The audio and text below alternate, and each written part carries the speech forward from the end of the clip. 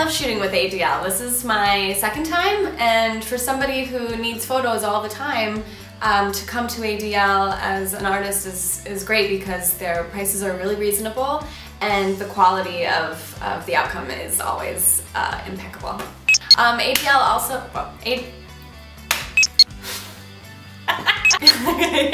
ADL also did a voice reel for me. Um, he had all his own material and uh, it took, I don't know, maybe 10 minutes and every time I wanted to do it again, there was no issue and uh, it was a really fun time.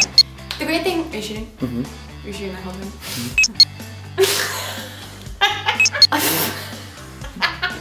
the great thing about ADL is I always have a really good time um, and the pictures always come out really great. So win-win.